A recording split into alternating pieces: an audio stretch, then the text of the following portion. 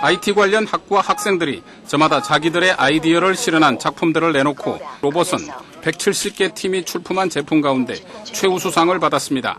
K 에버는